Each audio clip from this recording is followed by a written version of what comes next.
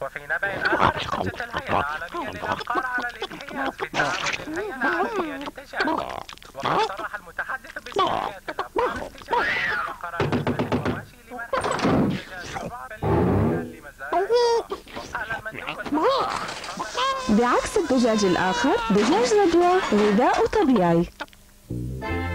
لا ترضى بغير رضوى.